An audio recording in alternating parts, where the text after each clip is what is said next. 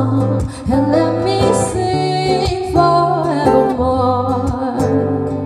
You are all I long for, all I worship and adore.